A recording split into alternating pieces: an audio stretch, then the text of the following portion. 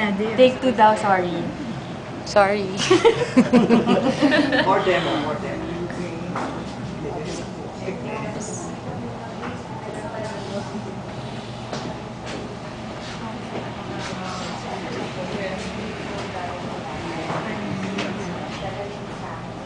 Ang speak. Hmm? You speak ito. Okay na yan, alam na. Kapag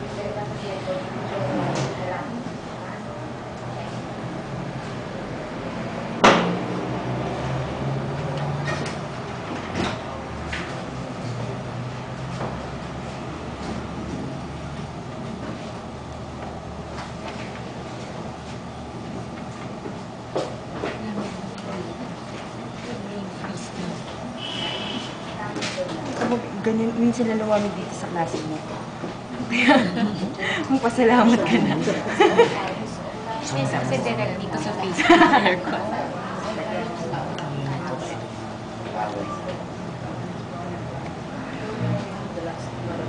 So I think it's too kind of too dark here.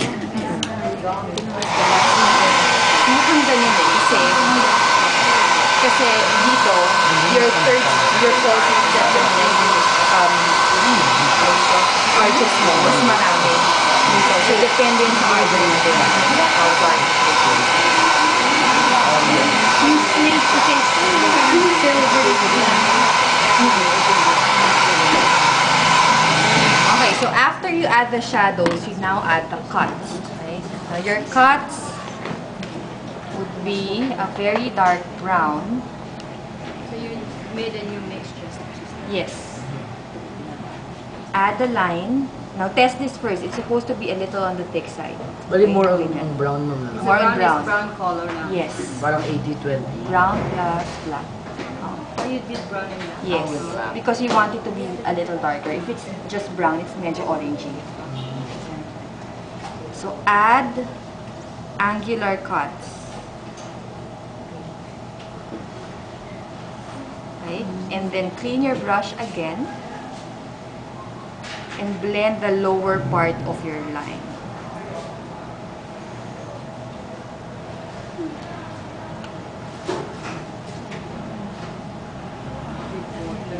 With water. Okay, remove the excess.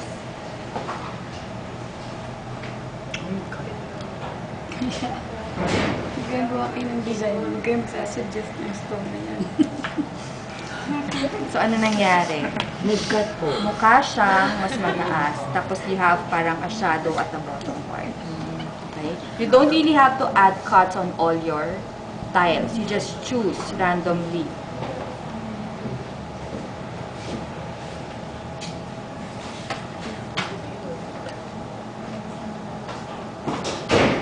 Again, just shade the bottom part. Just blend the bottom part.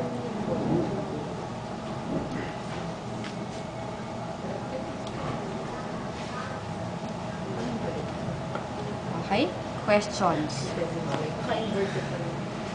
Hindi pa. Hindi na. Upright.